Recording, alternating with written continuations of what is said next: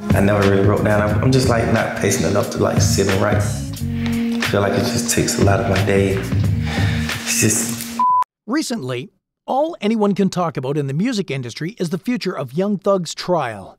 In May 2022, the Atlanta rapper and his 27 members of YSL got arrested under the RICO Act for gang related charges. The police believe that Thug's YSL music label is just a crime syndicate who's working under the same name. Now, with every passing month, the hope that Young Thug's fans had has been diminishing. Now, let's talk about why everyone is saying that Thug's career is officially ending after this trial. Before we get started, make sure to leave a like and a comment on this video. Also, if you'd like to join this month's giveaway of a brand new iPhone, then all you have to do is subscribe to the channel and watch this video until the end to find and comment the hidden message. Good luck! Bad social conduct. Even before all the RICO controversy, Young Thug was making waves for some little drama. In January of 2017, he didn't show up at a concert in Salem Stadium even after signing a $55,000 contract. He had done this before as well. In 2016, a Texas company filed a lawsuit against him for not performing in a concert. Now, this type of behavior can get any rapper banned from performing in multiple states. That same year, he also physically assaulted a woman. The tap out singer lost his temper and slapped her. There were claims that the woman was arguing with Jerrika Karlae Thug's fiance. He then stepped in and hit the woman. However, the battery charges were dropped due to a lack of evidence, but still, the incident was enough to make headlines. Deep involvement in the drug racket. The reason why law enforcement is hell bent on putting Young Thug behind bars is due to his long criminal charge sheet, especially to drugs and violence. In April of 2017, Young Thug's Sandy Springs house was raided by the police. The cops charged him with felony cocaine possession, felony marijuana possession, and three counts of felony gun possession. Eventually, the police had to drop the charges because they conducted the raid without a search warrant. That same month, he was also sued by Heritage Select Homes. They claimed he hadn't paid them $2.2 million for the house he bought.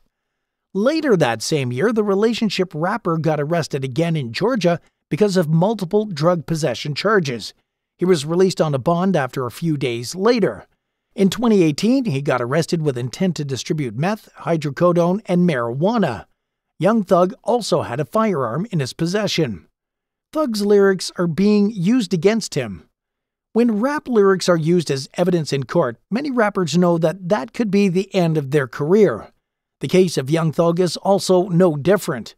The prosecutors have quoted many of his lyrics and deemed them as a confession. Young Thug even sent an audio recording from jail, which was shared by the founder of 300 Entertainment, in which he urged people to sign the petition to protect black art. In the recording, he said, I always use my music as a form of artistic expression and I see now that black artists and rappers don't have that freedom. Everybody, please sign the Protect Black Art petition and keep praying for us. I love you all.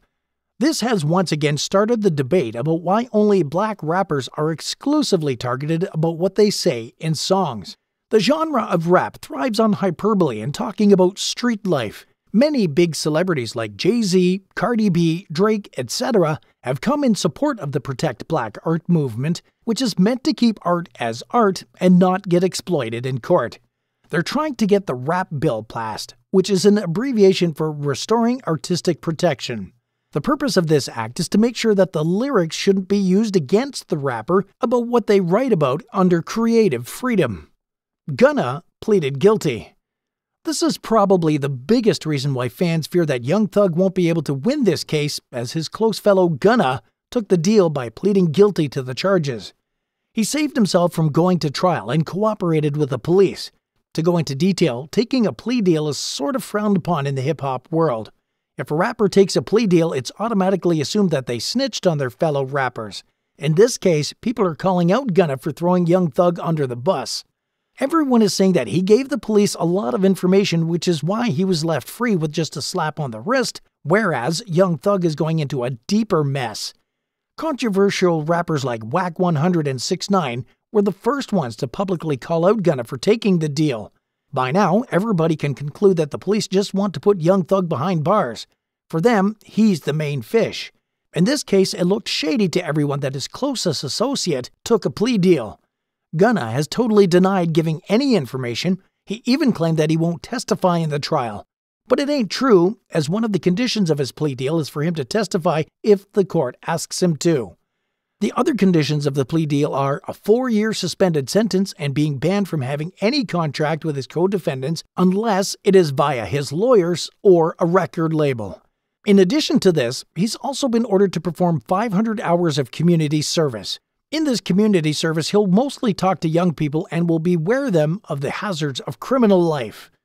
In conclusion, all of these things are pointing toward the fact that Young Thug's career is the last of his worries at the moment. The feds are onto him, and this time his getting out is near to impossible. Even if he does get out due to something, there is a high chance that he'll go underground for some time, and this will have a low key presence. For this, it's imperative that he won't release any music or come into the limelight.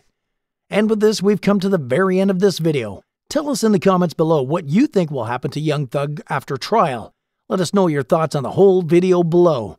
Don't forget to leave a like on this video, and if you're new to this channel, make sure to hit that subscribe button for all future content. Thanks for watching. I'll see you next time.